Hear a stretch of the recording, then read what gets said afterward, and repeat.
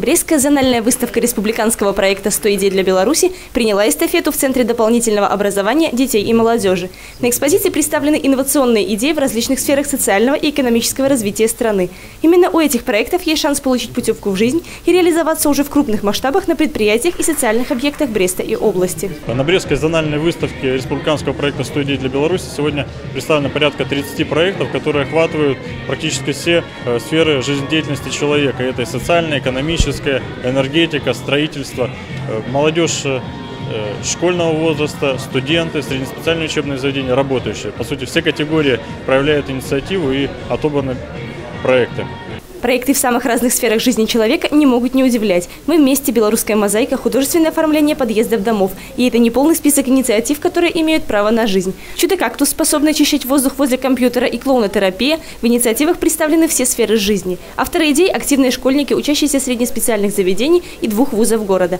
Проекты, представленные на экспозиции в 2012 году, вошли в сотни лучших инициатив страны и доказали свою жизнеспособность. В этом году борьба напряженная, и каждая идея достойна внимания. Наш проект, ну это вообще э, в рамках клуба Академии добровольчества. Э, мы сейчас основной из направлений, основное, это клоунотерапия.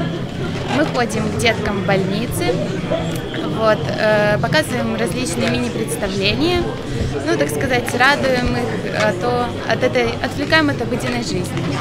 Э, также наш клуб, он сотрудничает с международным э, фондом итальянским «Поможем им жить».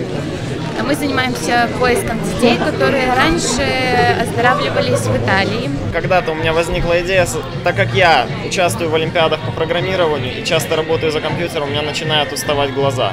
Именно поэтому я решил проработать данный вопрос и изобрести прибор, который будет снижать вредное воздействие компьютерных мониторов. Изначально он планировался именно такой.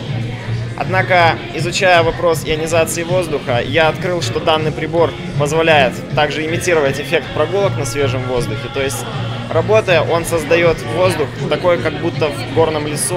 От того, насколько ярко и креативно продемонстрирует свою идею автор, зависит, попадет ли инициатива в легендарный список лучших. Отбор проектов для выставки «100 идей для Беларуси» пройдет в трех городах области. По итогам региональных выставок экспертный совет определит лучших, которые и представят Брестскую область на республиканской выставке.